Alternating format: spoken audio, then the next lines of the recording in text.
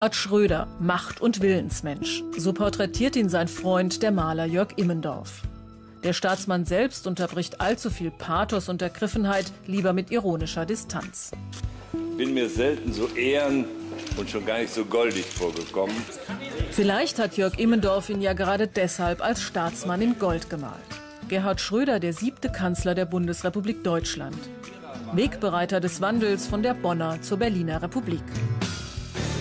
Proletarierkind, Parteirebell. Wahlsieger 1998, sieben turbulente Jahre an der Spitze von Rot-Grün.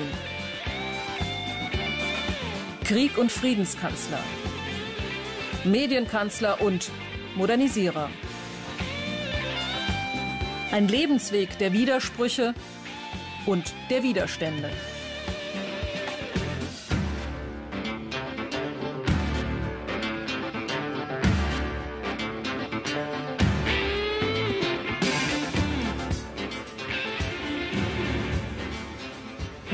Landkreis Detmold in Westfalen. In der dorflichen Gemeinde Mossenberg kommt Gerhard Fritz Kurt Schröder am 7. April 1944 zur Welt. In der Dachkammer eines Bauernhofes. Schröders Vater Fritz stirbt im Krieg. Mutter Erika kämpft ums Überleben. Vormittags habe ich Putstellen gehabt. Und nachmittags bin ich auf den Bauernhof gegangen, von eins bis sechs sowas. Und dann hatten wir mal Kartoffel, wir haben auch mal Äpfel aufsuchen können. Nicht? Und der, der Stunde 50 Pfennig haben wir bekommen.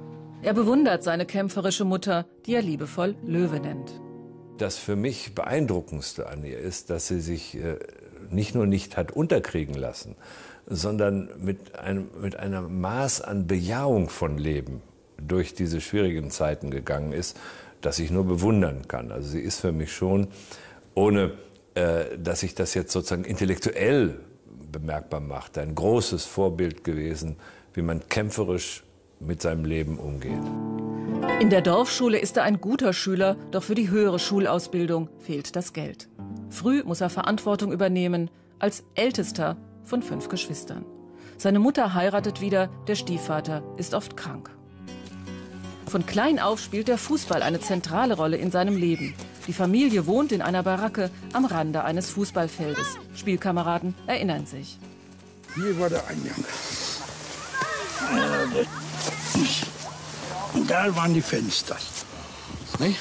Und hier war der Raum, der erste, so 3,50, 5 Meter lang in der Länge. Und da war ein Schlafraum. Ja, und dann kam ab und zu mal auf, auf den Küchentisch da oder auf den Herd.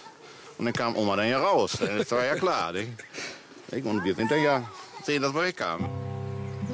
Sie ziehen um. Gerhard Schröder und seine Familie leben auch am Ortsrand von Talle, Ostwestfalen, in ärmlichsten Verhältnissen.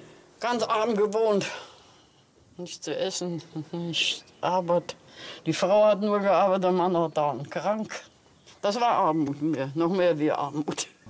Jahre, in denen bei Gerhard Schröder der Ehrgeiz wächst, es allen zu zeigen, alles daran zu setzen, solchen Verhältnissen zu entfliehen. Er ist aufgewachsen als jemand, dem die Lebensumstände eingehämmert haben, ich bin unten. Und wenn ich im Leben etwas bewirken will, wenn ich etwas werden will, wenn ich etwas darstellen will, wenn mein Ehrgeiz und mein Selbstgefühl befriedigt werden wollen, dann muss ich nach oben. Zunächst einmal führt ihn sein Weg in die Eisenwarenhandlung in Talle.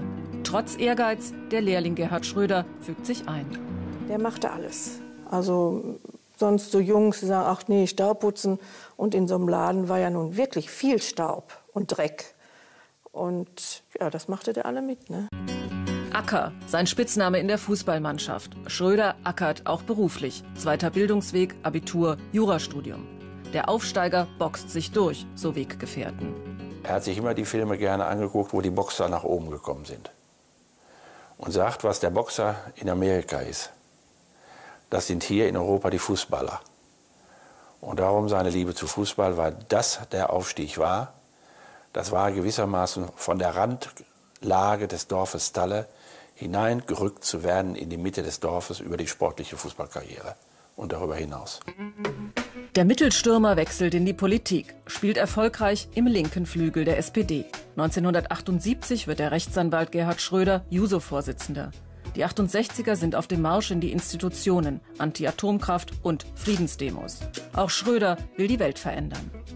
Mich haben immer äh, praktische Lösungen interessiert. Äh, und ich glaube, dass man den Menschen, die aus Verhältnissen kommen wie ich selbst oder sogar darin noch leben, weniger mit Büchern und Papieren helfen kann als mit praktischer Politik.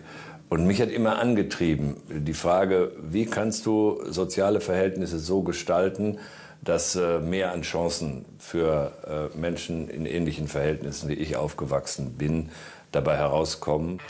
1980 hält er erstmals Reden im Deutschen Bundestag. Der erste Abgeordnete ohne Schlips. Einer, der provoziert, noch bevor die Grünen Einzug halten. In seiner Partei, der SPD, wird er argwöhnisch beäugt. Es gab Leute, die, die von vornherein sagten, passt auf den auf, aus dem wird noch was. Und dann gab es andere, die fühlten sich gelegentlich auf den Schlips getreten. Durch was? Ja nun, durch diese etwas forsche äh, Art des Auftretens. Die Legende um den Machtmensch Schröder beginnt zu reifen. Er will der Größte sein und ganz nach oben. Das hieß in Bonn. Er muss hier rein, ins Kanzleramt. Als ich junger Abgeordneter in Bonn war, da gab es eine, ein, äh, eine Gaststätte äh, direkt gegenüber dem Kanzleramt, die existiert heute nicht mehr. Da trafen sich die langsam beginnenden Grünen und äh, wir, die jüngeren SPD-Abgeordneten. Und wir sind dann in Bonn über die Reuterstraße gegangen, um zu unseren Büros zurück. Es war wirklich sehr spät und plötzlich fängt der Typ da an den Gitterstäben zum Kanzleramt zu rütteln. Daneben der Adenauer Kopf und der Freimut Uwe und ich. Wir haben also vergeblich versucht, ihn äh, davon abzuhalten. Ich kann nicht dementieren, dass da an den Stäben gerüttelt worden ist. Doch er braucht noch einen langen Atem, um an sein Ziel zu gelangen. Helmut Kohl ist viele Jahre im Amt und richtet sich im Kanzlerbüro gemütlich ein. Schröders Aufstieg beginnt am Rhein und geht weiter an der Leine. In Hannover wird er Ministerpräsident, unterstützt von Hildroth, seiner dritten Ehefrau. Die Parteigenossen merken auf, man darf ihn nicht aus dem Auge verlieren. Oskar Lafontaine gratuliert. Schröder kann eine weitere Bergetappe für sich verbuchen. In Niedersachsen regiert nach 14 Jahren wieder die SPD, zusammen mit den Grünen.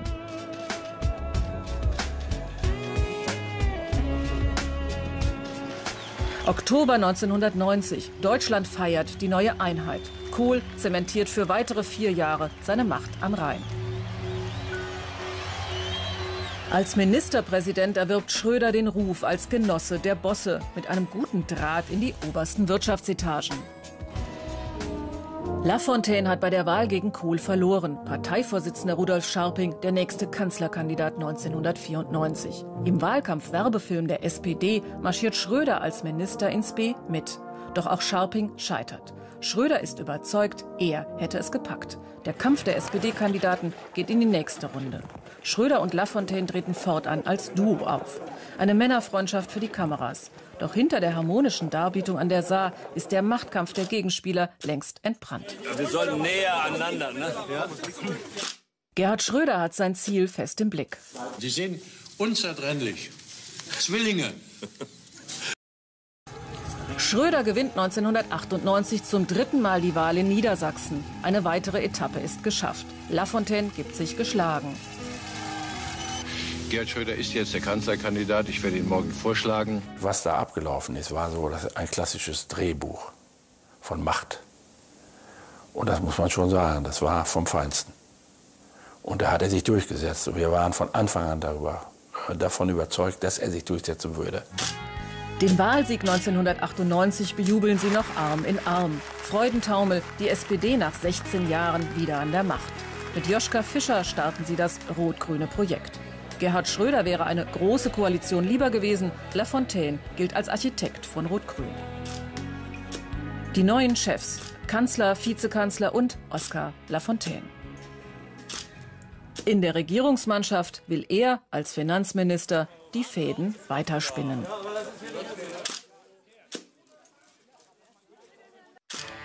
Doch der Machtmensch Schröder ist endlich am Ziel. Das lässt er sich von keinem mehr nehmen. Ein anderer Stil hält Einzug. Nach 16 Jahren Kohl rücken die Rebellen von 1968 die Stühle am Kabinettstisch zurecht und machen es sich bequem. Zeit des Aufbruchs und der Umbrüche. Die ersten Wochen des Triumphes werden zelebriert. Über die Lust an der Macht reden die Regierenden seltener, ihre Weggefährten gehen offener damit um. Ich will nicht sagen, man macht besoffen, aber es ist natürlich was Neues. Ja? Man ist plötzlich oben angekommen. Und das kann auch einem Lust verschaffen. Und dies zu leugnen, wäre unsinnig, ja, weil natürlich äh, es ist nicht nur ein Opfergang. Die Lust am Amt regiert. Schröder, das Proletarierkind, aufgewachsen in der Baracke am Fußballfeld, ist aufgestiegen in den Olymp der Politik. Mir kann keiner. Er findet Gefallen an Kaschmir und Kohibas. Die Medien haben einen neuen Star. Und die Kamera liebt ihn. Hat nichts zu tun mit gut aussehen oder nicht gut aussehen. Ich glaube, das ist, äh, ein, kommt aus innen raus. Das ist eine, mit ihm ist eine Wärme. Eine persönliche, sofort ein persönlicher, äh, wie sagt man, äh, Kontakt. Ein Kanzler zum Anfassen. Nach dem unnahbaren Patriarchen Helmut Kohl für die Medien eine neue Zeit. Herzlich willkommen, unser Bundeskanzler Gerhard Schröder. Schröder liebt das Spiel mit den Medien und alle spielen gerne mit. Der Mythos vom Medienkanzler wird geboren. Ein Mensch wie er muss sich inszenieren. Wenn du im Grunde in irgendeiner Form Eindruck machen willst, wenn du eine Meinung bei den Menschen bilden willst, dann musst du auch in der Lage sein, die Elemente des Showgeschäfts zu beherrschen. Also jemand wie, wie Schröder ist dann, wenn er diesen tollen Anzug anhat und auch die Zigarre raucht, ja gleichzeitig immer noch prollmäßig so ein bisschen. Genießt das auch und, und dann äh, hol mir eine Flasche Bier, sonst, oder ich weiß nicht, wie dieser Spruch hieß damals. Hol mir eine Flasche Bier, sonst Flasche Bier, Flasche Bier, Flasche Bier. Hol mir eine Flasche Bier, Flasche Bier, sonst streike ich hier. Hol mir eine Flasche Bier, Flasche Bier, Flasche Bier. Hol mir eine Flasche Bier. Schluck, schluck, schluck. So wie ich Gerhard Schröder kennengelernt habe, ist das äh, der Medienkanzler schlechthin. Also wenn es äh, beim äh, Oscar die Kategorie gäbe, hätte er die sicher verdient als bester Selbstdarsteller. Doch aus Spaß wird rasch bitterer Ernst. Rangelt Oskar Lafontaine vor der Wahl noch im Scherz mit Schröder und greift ihm beherzt ins Steuer, eskaliert schon nach wenigen Monaten Regierung der Streit im Kabinett. Lafontaine schmeißt hin als Finanzminister und SPD-Vorsitzender. Schröders politischer Gegenspieler flüchtet nach Hause auf den Balkon. Ich bin Privatmann. Spielt scheinbar lässig den Privatmann. Schröder muss handeln. Er wird Parteivorsitzender, ein Amt, das er selbst nie angestrebt hat. Auch außenpolitisch wird er mehr in die Pflicht genommen, als er jemals ahnen konnte. Angriff der NATO auf Restjugoslawien, Krieg und Vertreibung im Kosovo, tausende Albaner auf der Flucht vor Milosevic. Schröder will mithelfen, den Krieg zu beenden. Deutsche Soldaten beteiligen sich am NATO-Kampfeinsatz. Ich rufe von dieser Stelle aus alle Mitbürgerinnen und Mitbürger auf, in dieser Stunde zu unseren Soldaten zu stehen. Sie und ihre Familien sollen wissen, dass wir das Menschenmögliche tun für den Schutz unserer Soldaten bei diesem schwierigen und auch gefahrvollen Einsatz. Gleichwohl, dies gilt es ehrlich zu sagen, können wir Gefahren für Leib und Leben unserer Soldaten nicht völlig ausschließen. Ausgerechnet Rot-Grün in der Tradition der Friedensbewegung verpflichtet, schickt deutsche Soldaten in den Krieg.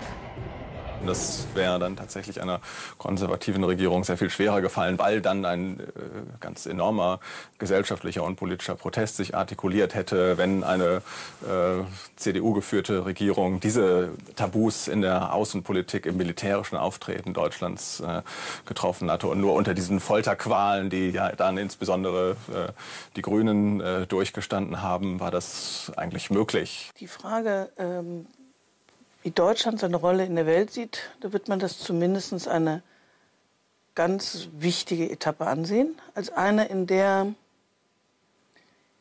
tatsächlich es geschafft wurde, das ganze Erbe der Vergangenheit anzunehmen und es trotzdem nicht als einfache Entschuldigung zu nehmen, sich aus der Verantwortung zu begeben. Das finde ich ist eine große Leistung.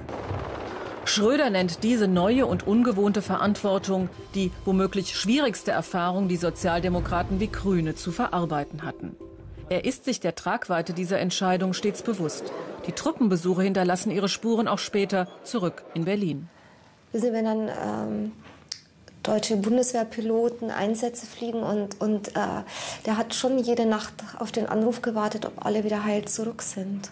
Also da es ist nicht dran zu denken, dass man da vorher schläft. Schröder verlor seinen Vater im Zweiten Weltkrieg. Erst 60 Jahre später kann er Fritz Schröders Grab in Rumänien besuchen.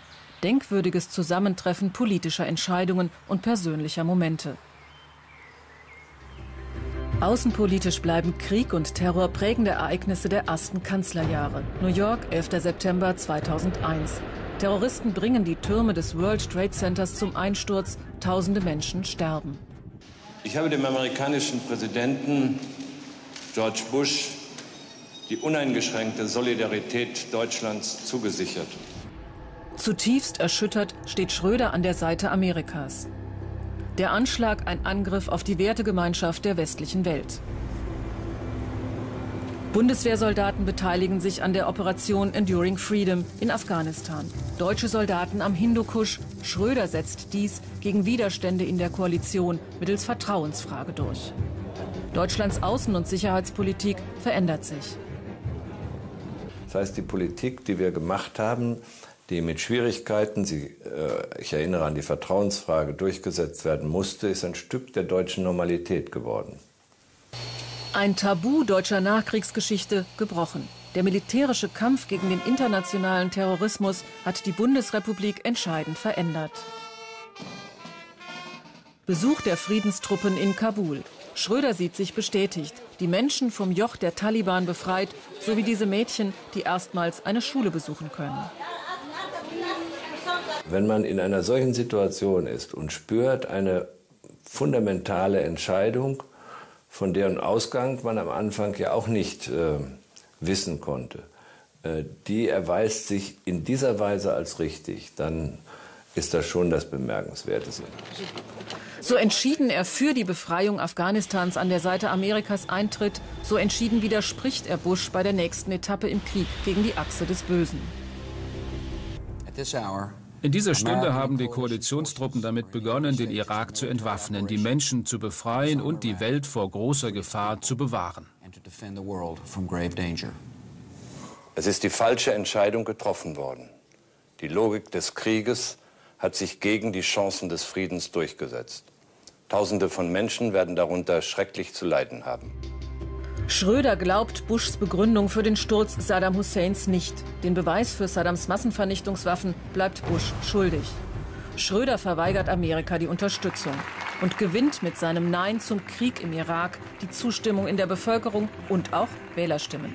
Wenn unsere Freunde angegriffen sind, helfen die Deutschen. Das stand nie in Frage. Aber genauso wenig darf in Frage stehen, dass wir selber entscheiden, was wir tun und wann wir es tun. Das war so, das muss so bleiben, meine Damen und Herren. Sein Verhältnis zu Bush bleibt unterkühlt. Auch nach dem Deutschlandbesuch des amerikanischen Präsidenten in Mainz entwickelt sich keine Männerfreundschaft mehr. Ganz anders das Verhältnis zu Jacques Chirac. Freundschaftliche Bande privat und auch politisch rücken sie nah zueinander. Das alte Europa, wie es Donald Rumsfeld nennt, sagt Nein zum Krieg im Irak, stellt das transatlantische Bündnis aber nicht in Frage. Es war eine bestimmte amerikanische Entscheidung, der wir nicht zustimmen konnten. Was aber die Bedeutung des transatlantischen Bündnisses angeht, war der Kanzler immer klar und entschlossen. Ein normales Land ist Deutschland schon längst. Aber mit Schröder ist seine außenpolitische Souveränität größer geworden. An der Seite Russlands bilden die alten Europäer eine außenpolitische Troika, die sich beim Gipfeltreffen im Ostseebad Svetlogorsk gern zusammen zeigt. Die Freundschaft zu Putin festigt sich auch über Schröders Kanzlerjahre hinaus. Ich gehöre zu denjenigen, die fest davon überzeugt sind, dass Europa, dass Deutschland eine sehr enge, eine strategische Beziehung zu Russland braucht. Einen lupenreinen Demokraten nennt er Putin und stößt dabei auf heftige Kritik. Seinem Freund Wladimir heißt es, sehe er zu viel nach. Tschetschenienkrieg, Pressefreiheit. Statt demonstrativer Einigkeit erwartet man in Deutschland von Schröder mehr kritische Distanz. Sommer 2002. Schröders Umfragewerte im Wahlkampf sinken. Doch je höher die Pegelstände der Elbflut im Osten Deutschlands steigen, umso mehr gewinnt er an Zuspruch. Er präsentiert sich im Hochwasser als Krisenmanager und Helfer in der Not. Es gelingt ihm, die Situation zu seinen Gunsten zu wenden. Mithilfe der Grünen schafft er es noch einmal. Gerhard Schröder und Joschka Fischer starten in die zweite Regierungsrunde. Doch der Zauber des Anfangs ist dahin. Mit Riester-Rente, Atomausstieg und Homo-Ehe sind Zeichen gesetzt, aber die großen gesellschaftlichen Herausforderungen der Zukunft bleiben ungelöst. Die Modernisierung des Sozialstaates zwingt zu einschneidenden Veränderungen. In einer Regierungserklärung fordert Gerhard Schröder mehr Eigenverantwortung und weniger Staat. Wir werden, meine sehr verehrten Damen und Herren, Leistungen des Staates kürzen, Eigenverantwortung fordern und mehr Eigenleistung von jedem Einzelnen abfordern müssen. Alle Kräfte der Gesellschaft werden ihren Beitrag leisten müssen, Unternehmer und Arbeitnehmer, freiberuflich Tätige und auch Rentner. Schröder setzt die Zustimmung zur Agenda 2010, seinem Plan für die Zukunft, in der Partei eher mit Härte, denn mit Überzeugungskraft durch. Ich glaube, Schröder hatte äh, mit der Partei ähm, äh, einen, einen präsidialen äh, Stil in einer repräsentativen Demokratie, wenn ich das so sagen darf. Das heißt also, er hat vieles äh, äh, alleine entschieden und dann abgedeckt durch Müntefering oder noch zwei, drei andere und dann aber dann doch den Leuten gesagt, so ist es und nun das berühmte Wort Basta. Den Ruf vom Basta-Kanzler wird Schröder nicht mehr los. Immer häufiger droht er den eigenen Leuten mit Rücktritt, die Stimmung kippt. Verlorene Landtagswahlen, miserable Umfragewerte, die Proteste verstummen nicht. Der Kanzler Gerhard Schröder setzt Staatsräson vor Parteiräson und gibt den Vorsitz der SPD ab. In einem solchen Moment weiß man, in welcher Reihe man steht. Als Parteivorsitzender der ältesten demokratischen deutschen Partei. Und äh, das aufzugeben, weil es die richtige Entscheidung ist, ist schon schmerzhaft. Äh, im wahrsten Sinne des Wortes. Das hat mich berührt. Franz Müntefering soll es richten, als neuer SPD-Vorsitzender die Genossen davon überzeugen, dass Schröders Agendapolitik richtig ist. Vor allem die Zusammenlegung von Arbeitslosen und Sozialhilfe macht Teilen der Bevölkerung Angst. Die hohe Arbeitslosigkeit bleibt, der organisierte Protest geht weiter. Eine Front von PDS-Gewerkschaftern und unzufriedenen SPD-Anhängern positioniert sich. In vorderster Reihe Schröders alter Gegenspieler La Fontaine. Der Protest gegen Hartz IV wird zum Ventil für alle, die mit der gesellschaftlichen Wirklichkeit unzufrieden sind. Das, was wir machen mussten und gemacht haben mit der Agenda 2010, war natürlich auch äh, schwer zu verarbeiten. Für viele, die der Hoffnung waren, es wird schon so weitergehen und irgendwo finden wir einen Ausweg, ohne die sozialen Sicherungssysteme in dieser Weise reformieren zu müssen, um sie zu erhalten. Und dann gibt es ja immer wieder die Diskussion darüber, auch aus Teilen der Partei, der Gewerkschaften, was ihr machte, das musste gar nicht sein. Ihr hättet es auch anders machen können. Gewerkschafter wie Unternehmer kritisieren ihn und seinen Reformkurs. Den einen geht er zu weit, den anderen nicht weit genug. In den folgenden Monaten spitzt sich die Lage zu. Die Unzufriedenheit in den eigenen Reihen wächst. Eine düstere Melange, die die Opposition für sich nutzt. Erst verliert Rot-Grün in Schleswig-Holstein. Dann verliert die SPD die Macht in ihrem Stammland Nordrhein-Westfalen. Des Kanzlers Mehrheiten schwinden. Er will nicht untätig zusehen, bis man seinen Rücktritt fordert. Er greift die Flucht nach vorn. Rot-Grün ist nach sieben Jahren am Ende. Schröder stellt die Vertrauensfrage.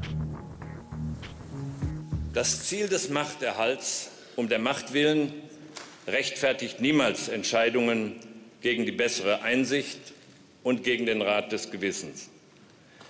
Ich handle in der Gewissheit, dass die von mir begonnene Politik der Reformen richtig und notwendig ist für unser Land und für seine Menschen.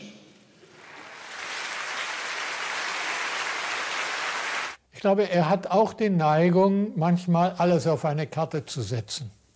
und zu sagen, jetzt will ich es aber wissen. Und das hat sich in diesem Fall durchgesetzt.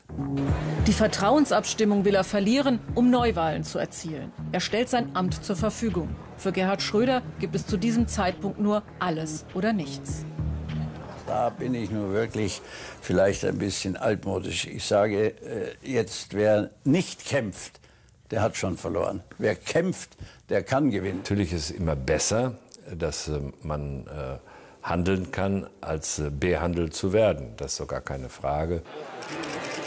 Kämpfen, wenn es aussichtslos scheint. Schröder ist in seinem Element. Er zwingt seine eigenen Leute dazu, ihm das Vertrauen zu entziehen, damit er neu gewählt werden kann. Eine paradoxe Situation, in die ihm viele nur widerwillig folgen.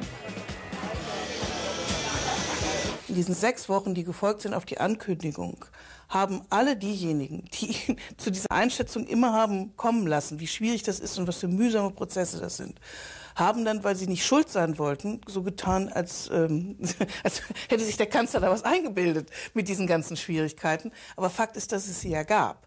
Und dass sie meines Erachtens ein großer Teil der Probleme dieser Regierung ausmacht, weil die hatte immer in den eigenen Reihen die, ihre schärfsten Kritiker, die sozusagen täglich neu irgendwie in einem Medium saßen und sagten, wir machen sozial ungerechte Politik. Er setzt sich durch und verliert wie geplant die Vertrauensfrage. Der Weg für Neuwahlen ist frei. Auf Tribünen und Marktplätzen kämpft Schröder so, wie er es immer in scheinbar ausweglosen Lebenslagen tut. Er versucht im Wahlkampf das Blatt noch einmal für sich zu wenden und hätte es auch fast geschafft. Am Wahlabend kurz vor der Berliner Runde ist die Mehrheit der Union hauchdünn.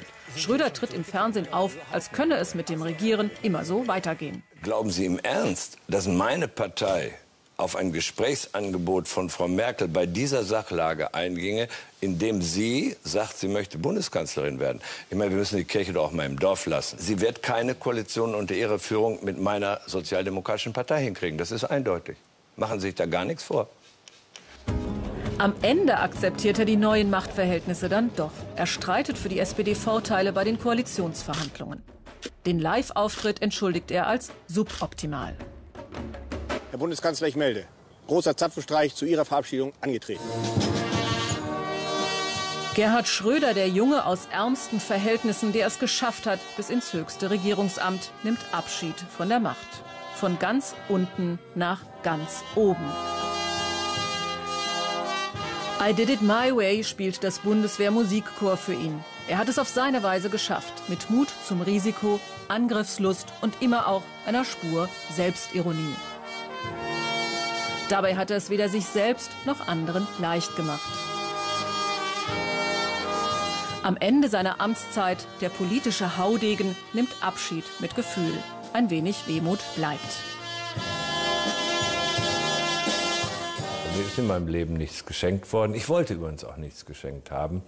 Aber äh, nicht jeden Tag geht es um alles oder nichts, Gott sei Dank.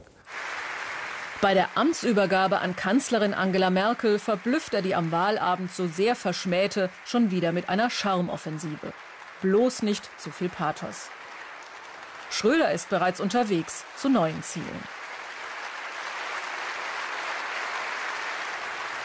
Der Rechtsanwalt als Handlungsreisender. Berlin, Zürich, Moskau. Er wird Aufsichtsratsvorsitzender der deutsch-russischen Energiegesellschaft von Gazprom, E.ON und BASF. Die Kritik daran stört ihn wenig. In der Galerie der Kanzlerporträts hat der Nachfolger von Adenauer, Erhard, Kiesinger, Brandt, Schmidt und Kohl seinen Platz gefunden. Und seinen Platz in der bundesdeutschen Nachkriegsgeschichte, den hat er auch. Ein Kanzler des Wandels und der Wandlungen.